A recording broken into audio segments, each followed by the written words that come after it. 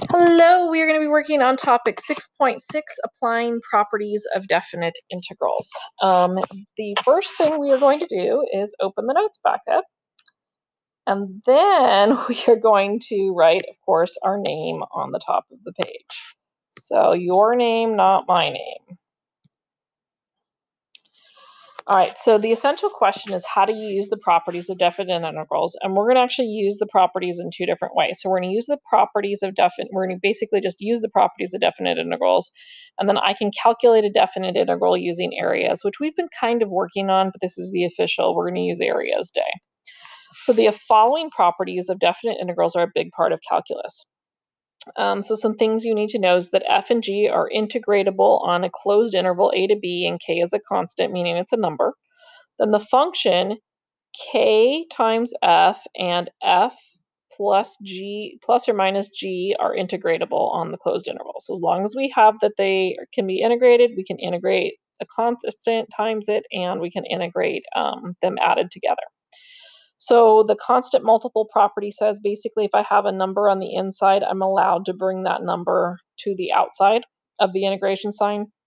Um, if we are adding two functions together, we are allowed to add them together and add or subtract them together separately um, to get them integrated. Um, the additive interval property says that um, if I have an interval and um, I need to split it up to another interval, I can do that and split the function up um, into two different intervals and integrate it in two separate step separate intervals. Um, definition of two special definite integrals. So we saw this one last year when we go from A to A, we know that we get zero. So these numbers match. We know when we integrate, we get zero. And then we know we want this when we have the smaller number on the bottom in order to swap these two numbers we know we need to um, have a negative and typically we want the smaller one on the bottom so that's when we do that swap. All right so we're going to try a few of these. Um, they don't really give us functions but they give us some information about functions. I know in this one that from 1 to 3 my function equals 10 if i can just get that function. So i'm going to use the additive property to separate this integral so I know I'm integrating from 1 to 3 of f of x dx. And I'm going to add that to the integral from 1 to 3 of 6 dx. Well, I know that this is exactly this. So I get to substitute in the 10. So I'm plugging the 10 in for that. When I integrate 6, I know I get 6x, and it's for I have to plug in from 1 to 3. So I've got 10 plus 6 times 3 minus 6 times 1. So 6 times 3 is 18 minus 6 times 1 is 6. So 10 plus 12, which is going to be 22.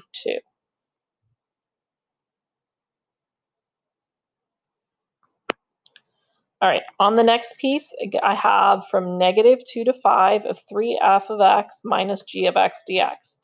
Um, I've got some interesting things. Notice I know something about from negative 2 to 3, and then I know something about 5 to 3. Um, I know something about negative 2 to 5, but that's for the g of x. I kind of, I'm kind of previewing what's going on here. I don't like the order that that's in, so I am going to choose to flip it and make it negative so what that's really going to do is it's going to make that a negative 3. So when I have, um, and then I'm going to bring this to the front. I'm going to bring this over. Nope, it's going to stay a negative 3. When we flip it, we just switch it to, ah, I know what happens. I know what my algebra is, where my algebra is wrong. So I'm going to flip it. That puts a negative out front. And then to solve it, I'm going to take that negative to the other side. And that makes it negative 3. All right, now we're ready to break this up. I've got all the information I need to break this up. So I'm going to break it into negative 2 to 5. I'm going to pull this 3 out in front, 3 f of x dx. And then I'm going to subtract from negative 2 to 5 of g of x dx? Well, I definitely know this is equal to negative 4. Okay, so I can definitely substitute in the negative 4 for that. So minus negative 4. Then the 3 is just going to hang out in front. I am going to have to break this up. Notice I can go from, I have to go from negative 2 to 5. I don't have that. But I do know from negative 2 to 3, and then I know from 3 to 5.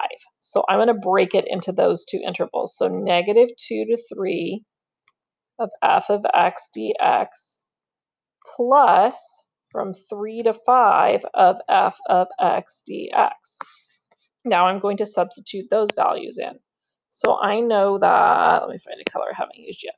I know that from negative 2 to 3 is 6. So we've got 3 times 6 plus, and then I know from 5 to 3 is negative 3, so I'm going to go plus negative 3. And then I've got double negative is positive 4. So let's see, 6 minus 3 would be 3. So I have 3 plus 3 plus 4. So I'm seeing 6 plus 4, which is 10. I didn't do that right, did I? I have a typo. Let's try that again. It's This is supposed to be 3 times 3 plus 4. 3 times 3 is 9, plus 4 is 13.